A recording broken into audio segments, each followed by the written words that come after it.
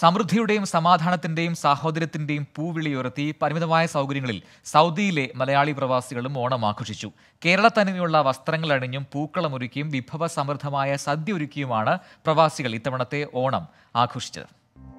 സമൃദ്ധിയുടെയും സമത്വത്തിന്റെയും സ്വപ്നങ്ങളും ഉണർത്തി പരിമിതമായ സൗകര്യങ്ങളിൽ സദ്യവട്ടമൊരുക്കി ബന്ധുക്കൾക്കും സുഹൃത്തുക്കൾക്കും ഒപ്പമാണ് പലരും ഓണം ആഘോഷിച്ചത്.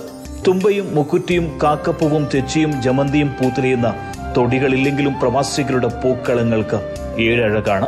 പൊന്നോണ ദിനമെത്തിയത് മിക്കവരുടെയും അവധി ദിനത്തിലായതിനാൽ ആഘോഷങ്ങളുടെയും മാറ്റുകൂടി.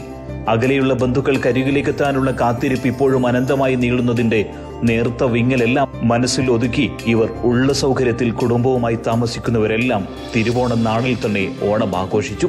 പൂക്കളമിട്ടും സദ്യയുണ്ടും മറുനാട്ടിലെ ഒറ്റപ്പെടൽ മറന്ന് ഇവർ ഓണം ഗംഭീരമാക്കി.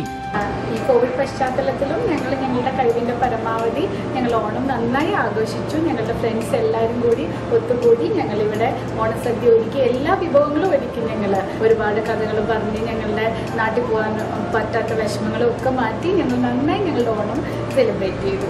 ഈ മഹാമാരിയുടെ പ്രതിസന്ധിയിലും ഞങ്ങളെല്ലാവരും സുഹൃത്തുക്കളൊപ്പം ചെറിയ രീതിയിൽ ഞങ്ങളും ഓണം ആഘോഷിച്ചു. ചെറിയൊരു പൂക്കളവും ഓണസദ്യവുമായി സുഹൃത്തുക്കളെല്ലാവരും കൂടെ ഒരു വീട്ടിലൊത്തുകൂടി ഞങ്ങൾ ഈ വർഷവും ഓണം ആഘോഷിച്ചു. മാവേലി തമ്പുരാനെ കാത്തിരിക്കുന്ന ആ പഴയ നാളുകളെക്കുറിച്ചുള്ള ഓർമ്മ പുതുക്കലുമായി മാറി തിരുവോണനാൾ.